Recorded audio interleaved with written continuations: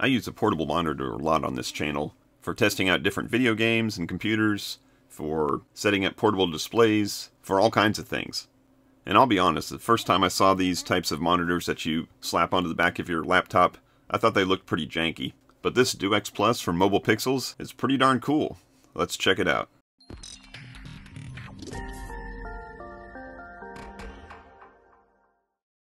Hey everybody, it's Chris from Family Geekery. Today we're going to be checking out this DueX Plus portable monitor from a company called Mobile Pixels. And this was originally a Kickstarter, which was very successful, over a million dollars raised. It wasn't their first product. They've made a couple of these, and this particular one is a couple years old. They've had another one since then, but we're going to check this out and kind of see how it works, what you can do with it, and then moving forward to the newer versions, just know that they're probably a little bit better with maybe a couple more features, so we'll check that out also. But first and foremost, you can kind of figure out it's a second screen for laptop, and that's originally, like I said, that's what I thought it was for, but you can do a whole lot more with this. So let's go ahead and open this thing up and see what it comes with. So inside the box we are greeted with a setup guide, and on the other side here it shows kind of a step-by-step -step on how to set this thing up to your laptop. Six easy steps to get it up and working. So we'll test that out. Then it's also got a template here, and I read through this template to find out what it's for. Obviously, this thing is going to magnet to the back of a laptop, and you have to put little magnets on the back of your laptop screen to make it snap onto there. And if you set it up the first time with the instructions, you're good to go. But if you ever need to replace any of the magnets, and it does come with some spare magnets, this way you can kind of set this up on the existing magnets and then use the template to put the missing magnet in. So that's pretty nice to have. And then here's the monitor itself. And it's all pretty good quality ABS plastic. It's only like 1.3 pounds.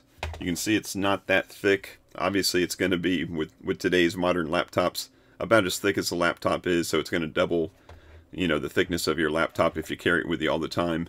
But since it has magnets, you can take it off when you don't need it, put it on when you do. You can carry it separately and then snap it on once you get somewhere. So that's pretty cool. We'll take a look at that. And then we've got some instructions in here. And like I said, it's got some extra adhesives for the magnets. Uh, so if you need to move it to a new laptop, you can do that. And it's got some alcohol swabs in here to clean up the backside of your laptop. And here's the extra stickies so once you stick this thing on, if you need to restick it or put it onto a different laptop, you can do that. It also comes with this cable here, this USB cable, which has a USB-C right angle on this end, which is going to be for your monitor. And then for your computer end, it's got a USB-A and a USB-C. So it's got a built-in adapter that's tethered on there, so that's nice. And we're going to test out both of those. I'm going to test it out with an older laptop with the USB-A, and then a more modern laptop with the USB-C. So one cable is going to provide the power and the signal to both, so that's going to be nice. And it's plenty long enough, so we're going to see some different configurations that you can set this monitor up with that may need a little extra length to set it up. And also, just depending on your laptop, depending on which side you want the screen and which side your ports are on, that gives you enough length to, to reach those ports. So let's set this stuff aside and check out the monitor itself. So here it is, and this is the DueX Plus. They made a couple of these with this particular Kickstarter. They made the DueX Plus, and then they made the DueX Lite, which is a little bit smaller, a little bit lighter. But this one here, this is going to be obviously the outside of the screen, the protected side of the screen. That would be on the outside of your laptop once it's all closed. And then the other side would be the side that's attached to your laptop. And we can see we've got the magnetic holders here, and then this is where the screen side is going to come out. So if this was on the back side of your laptop like this, then the screen would come out facing you. Now we've got four magnets here, and we've got these slides here, and at first I thought that was just to help it, you know, kind of fit on a laptop, but it's much more important than that, and I'm going to show you why those things are, are slotted like this. It turns out to be very important depending on what type of laptop you're going to put this on. And then once this is attached to your laptop, then obviously you're just going to pull this side out and then you get the full width of the screen and it actually pivots in both directions. So it pivots this way so you can angle it towards you and it pivots the other way once it's fully extended to fold back on itself. And now with the magnets on this side here this would be, you'd be looking at this on the back side of your monitor, and they call that presentation mode. So you can look at your screen, someone on the other side of you can look at their screen, and that way you can either have two different things on it if you extend the desktop, or you can have the same exact thing showing to both sides if you're going to do a mirrored. So once you have this installed on the back side of your laptop, then this is going to be kind of the default view that you have. And the monitor itself has a built-in kind of, they call it a G sensor, which knows which direction it's sitting so that if you actually turned it around and put it on this way to come out to your left side of your monitor, of your existing screen, then it would flip the screen and have it showing the right way. Now in addition to this default view here, you can go ahead and set it up like in a vertical mode and have your second monitor, you know, not even attached to your screen and just kind of standing by itself. And I think that's a, a, very popular way of using this. That way you don't have to worry about affixing it to the back of your screen and your second monitor is going to be vertical to give you some place to put, you know, a chat or a document or a web page or whatever it is that you're doing. And one of the nice things about this particular monitor is there's no drivers to worry about. So your operating system, whether it's Windows or Mac OS, it just understands that this is a second monitor and it allows you to configure it in the display settings. So if you need to rotate the screen around or put it on one side versus the other, then you can certainly do that right in the operating system. And even without a computer attached to it, using the, the back side of this thing as kind of a kickstand, you can kind of set this thing up by itself. You may want to prop up that corner they did make an actual kickstand kickstand for it that I think at the time of the Kickstarter was an additional $20 and it kind of sits on the back and kind of had an origami type uh, kickstand on the back side to help it sit up nice and flat. But I think even just how it is like this, just stick a little uh, you know notepad underneath that right corner and you'll be just fine. So enough looking at just a plastic monitor here. Let's go ahead and plug this thing in and get a picture up on the screen.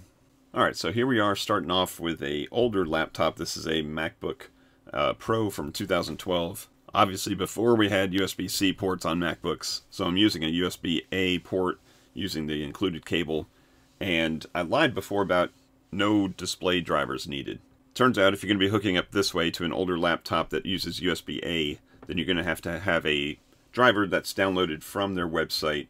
So right at the mobilepixels.us website, you can go through and find the download drivers. I will caution you that once you go to support and then click on driver downloads, the very first series at the top here is the Geminos series. So you want to scroll all the way down to find the actual series that you're looking at, in this case the DueX Plus.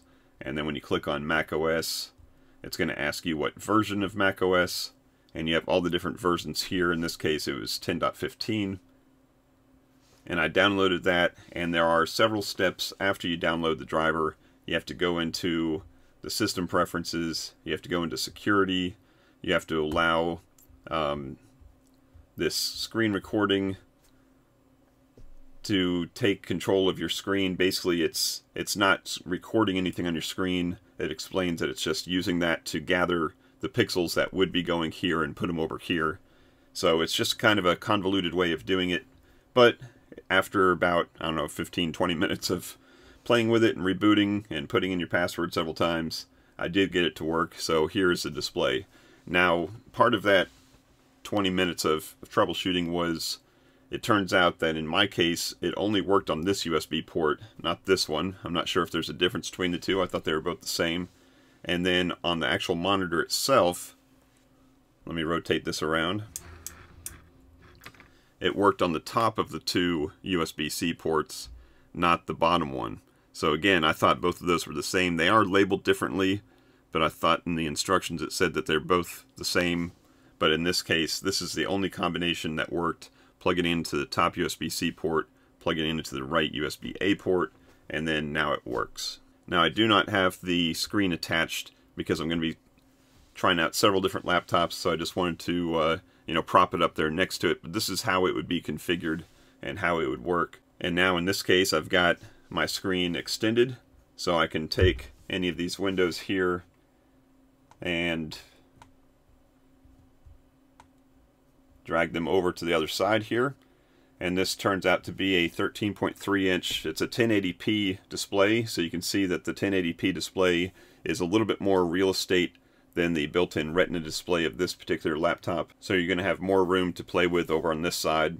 But then you can also mirror it if you wanted to as well. Now another little issue that I did find, and this is just in, in the case of this older laptop here, and it may be the operating system, it may be the drivers itself, but when I go into displays, it certainly does see it as an external, or as a, a second display here, and I only have the options over here to change the display from the default to one of these scaled resolutions. And that's really small you can't see it but it is 1080p as the default.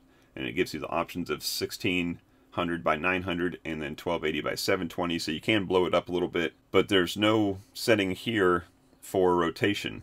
So I'm not sure again if that's a, a case of just the older operating system or if it's a case of the driver itself even up here in this driver that it does load, there's no settings in this T6 USB station is what they call it for any kind of rotation. That's just with my few seconds of playing with it. Maybe it's uh, hidden someplace else, but for right now, I can't find that. So long story short, it did work, just maybe not quite as I expected. And again, I may be doing something wrong in this case, but for right now, I'm going to go ahead and grab a more modern laptop and see what kind of success we have with that one. Alright, so here we are with a more modern computer. This is a 2020 MacBook Air, and this is an M1 version. And this is probably more the type of laptop that this particular monitor was designed to work with. So I plugged it in USB-C straight into the laptop, and it just worked. It just came on like right away. So going into the display settings here, for some reason it defaults to 960 by 540 but we can certainly change that. So if I switch that to 1920 by 1080, then the resolution over here is, is much higher. Everything's going to be smaller, of course, so you want to find maybe the 1600 by 900 is going to be, you know, the good match for this built-in 13-inch display. But now, in addition to that, we also have options of rotation. So if I go ahead and do a rotation, and let's go ahead and do 90 degrees, and confirm, and now I can take this display and set it up next to it. So you can go ahead and use this. You can see I've got this using it as a stand for vertical instead of standing it on top of the side connector there. Now we should be able to grab our display and bring it right over. And it looks great. So like I said, this is probably the more uh, efficient way of doing it, just USB-C right into it. It's getting its power and its display right over USB-C, which is much more modern and uh, just a lot easier solution than having to install any kind of weird drivers and going into your security settings and, and telling it that whatever it's trying to do is okay. So this is, is probably a much better fit. Now let me grab one more laptop and I want to show you what I was talking about before about those magnet slots being so important. Alright, so here's the monitor sitting on top of that same 13-inch MacBook Pro or MacBook Air. And you can see that this is like almost a perfect fit. I think they were obviously going to target this particular size and style of laptop. And when you install it, it says to center it on the screen and then, you know, press it down. And then when it slides out, everything's going to be perfect. So what if you have a 15-inch MacBook Pro or even the 15-inch MacBook Air now?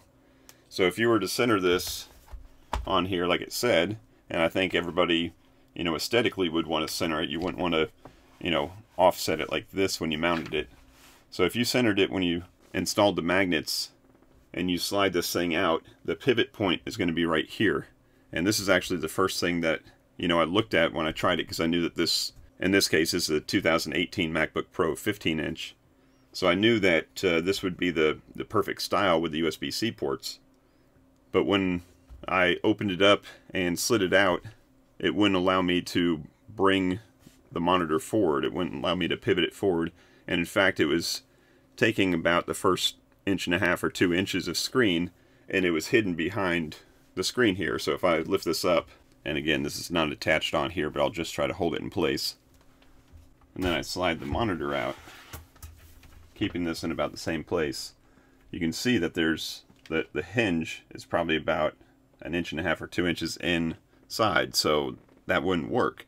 Now, when I first saw that, that was before I noticed that those magnets had a sliding element to them. So if we go ahead and close this back up again, now if we look at the mounting magnets of this monitor, if we had these all stuck down on here, you know, they were and they were all lined up the same, then you'd be able to slide this whole monitor, you know, that way, if you did that with all four, which would slide it this way, and now you'd be able to bring this all the way out and pivot it past your screen. So the magnets themselves would still be in the same place, in the correct place on your laptop, but you're allowed to, at that point, slide this whole thing right and left because of these magnetic channels here. So I think that's an upgrade from the original version of this monitor that came out a couple years before this one did. And it does match what the company says that this can mount on up to a 15 inch monitor or 15 inch laptop. So good design. Alright, the next thing I wanted to do was to test this out. This DueX Plus version actually is compatible with the Nintendo Switch and some Android tablets. So I just plugged this into the Nintendo Switch and the instructions say to plug your Switch power supply into the monitor first and then plug the cable from your monitor into the Switch and then it just came right up. Now I did have to play around a little bit with what was plugged into what. I'm not sure if it makes a difference. Again, the, the labeling on the side doesn't exactly match what I thought would actually work, but in this case, this is the configuration that works. Here's the display cable going to, in this case, the Nintendo Switch, and then this is just power coming from the Nintendo Switch power supply. And it works. Now, obviously, it's not going to work by itself because this thing, unlike a computer, is not going to supply enough power to the monitor to run it as well, but an extra cable is all it takes to get it to work. Alright, so after hooking up the Nintendo Switch, I wanted to see if something more modern like this ROG Ally would work just as easily. So I took the same cable and plugged it right into the USB-C port here, and sure enough, it works. So right now I'm still on the local controls here, and this is a very dark themed game, so the picture probably doesn't look great, but that's about what it looks like on a real screen anyways. But hook up one of these things like a Steam Deck or a ROG Ally and get yourself a wireless controller and you'll be gaming on the go. Now it's only a 60 hertz screen, but for a portable screen that's not too bad anyways. So what do you think? Let me know down in the comments below what you think about this monitor. Is it something that you would install in one of your laptops? Myself personally, I'm not sure if I'd have it permanently attached to a laptop, but being able to fold it up and slip it into a backpack sure does make a portable solution. If you want to find out more about this monitor, I'll leave a link down in the description below. And I'll also link the newer version of this, which I think is just a little bit bigger. I think it's a 14.1 inch instead of this 13.3. And it comes with a mini HDMI cable, so I'm not sure if the newer version has an HDMI input. That would be nice on a monitor like this to be able to hook it up to something that wasn't USB standard. But for all the use cases that they're listed out for this, it seems to work just fine. Let me know if you have any questions about this monitor. I'll be happy to answer anything that I can. That's going to wrap it up for this one. I appreciate you as always for watching, and until next time, peace out and geek out.